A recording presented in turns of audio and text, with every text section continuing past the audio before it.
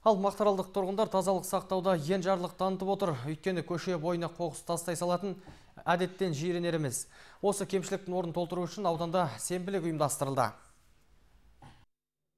Сенбілік аудандағы Ділдәбеков ауылдық округіне қарасты азаттық ауылынан бастау алды таңалау кемнің қолдарына кетпен күрек ұстаған мемлекеттік қызметкерлер іске кірісіп кетті.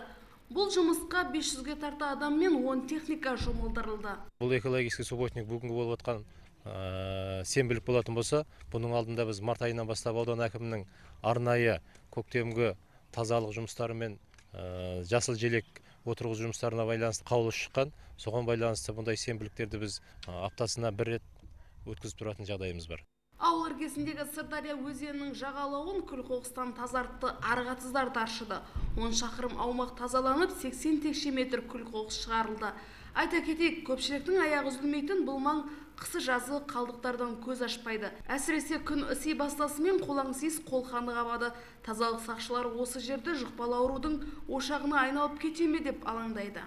қоқысымыздың басым көпшілігі мына байқап отырсыздар өздеріңіз баклашка деген баклашка пакет сондай қоқыстар бұның барлығы енді мына жолаушылар мал бағып жүрген жігіттер мына демалысқа келген адамдар солар тастап кететін сияқты тек қана ұранды сөздерменен ғана қалып кеткен сияқты соны біз сана сезімімізге ендіріп жүрген жерімізде соны айтып жүргіміз керек Жасыл аймақ бағдарламасы ауданда жүйелі жүзеге асуда барлық мекеме қызметкерлері әр жұма сайын өз аулаларын ретке келтіріп ағаш отырғызып тазалыққа мән беруді дағды еткен.